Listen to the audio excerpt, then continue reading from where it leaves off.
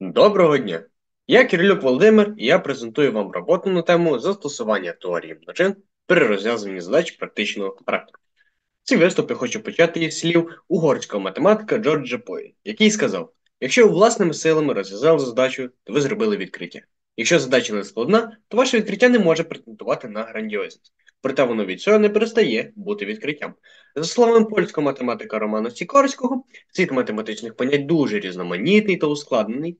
Але всі математичні поняття можна звести до одного єдиного, і цим поняттям є множина. Тому перший розділ моєї роботи присвячений основним поняттям теорії множини. Як сказав німецький математик Георг Кантор, множина це багато, що мислиться як єдине ціле. Саме він став основоположником теорії множин. У першому розділі розглянуто поняття множини та елементів множин, поняття універсальної множини та її підмножин. Також було розглянуто способи задання множин, такі як перелік елементів за допомогою характеристичної властивості та графічним методом. Також було розглянуто операції над множинами, такі як перетин множин, об'єднання множин, різниця множин та доповнення множин. Для ілюстрації співвідношень між множинами використовують схеми, які називаються кругами діаграмами Ейлера Вена. Наприклад, така задача.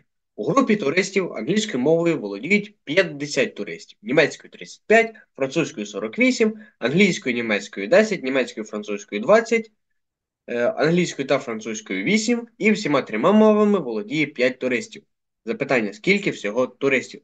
За допомогою кругів Ейлера Вена та за допомогою формули дізнаємося, що такі, що у групі налічується 100 туристів.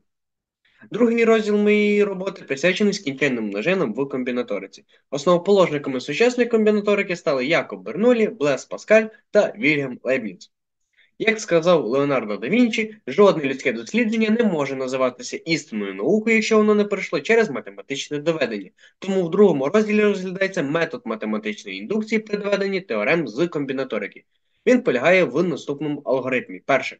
Перевірити правильність твердження при n дорівнює одиниці, припустити, що правильним є твердження при n дорівнює k, де k більше рівне одиниці, довести, використовуючи це припущення, що правильним буде твердження n дорівнює k плюс 1, і зробити висновок, що за принципом математичної індукції твердження правильне для будь-якого n.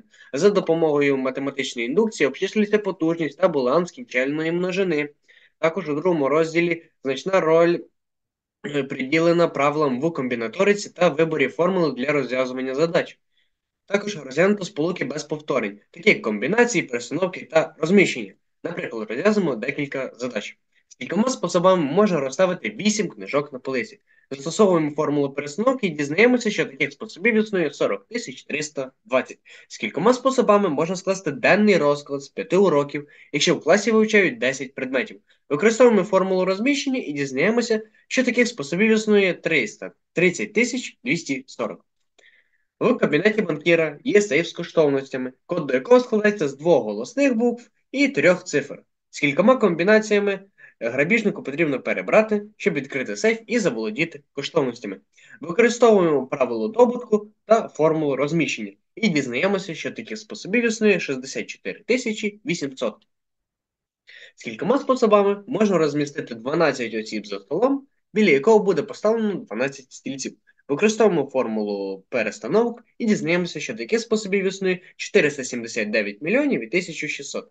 І цікавий факт про цю задачу. Якщо гості будуть пересаджуватися 11 е, щохвилини, протягом 11 годин на добу, 365 днів на рік з відпочинком один день в високосному році, то на перебір всіх існуючих способів піде 1988 років і 140 днів.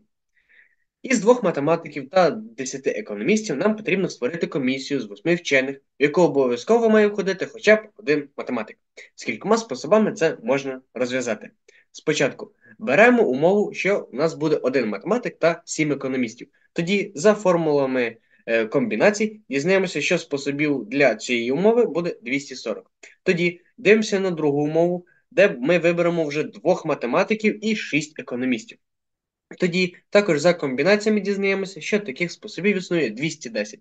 Далі ми ці способи просто додаємо за правилом суми і дізнаємося, що таких способів існує 450.